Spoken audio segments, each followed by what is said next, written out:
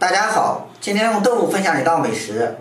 准备一块嫩豆腐，先给它切成薄薄的厚片，切成条，再切成小方块，放入盘中。锅中水烧开，加入一勺生物盐，搅拌化开。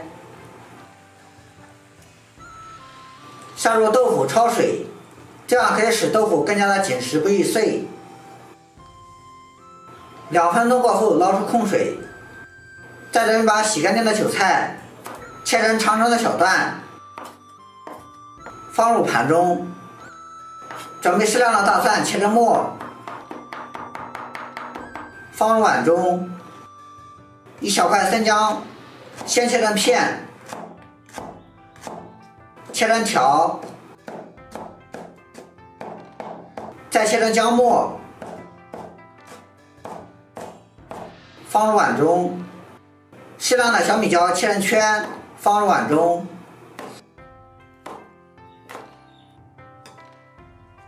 加入两勺生抽，一勺香醋，少许的蚝油，一勺生盐。一勺白糖提鲜，一勺鸡精，适量的胡椒粉去腥，加点不要钱的清水，搅拌化开。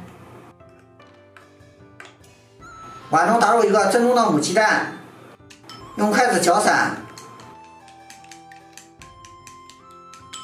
再倒入豆腐中，轻轻的晃动一下。使豆腐都裹上一层鸡蛋液，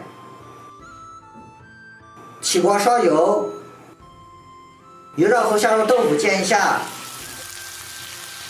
煎至底部定型，翻个面，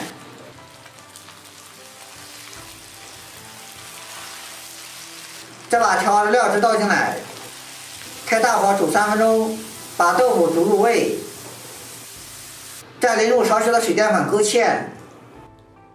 把汤汁收至浓稠，再把切好的韭菜段倒进来，翻炒均匀。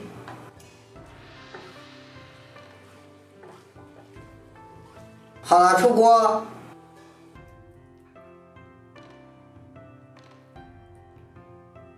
一道好吃的酒香豆腐就做好了，里面有豆腐、鸡蛋和韭菜，营养丰富，特别适合老人和孩子吃。喜欢的朋友就在家试试吧。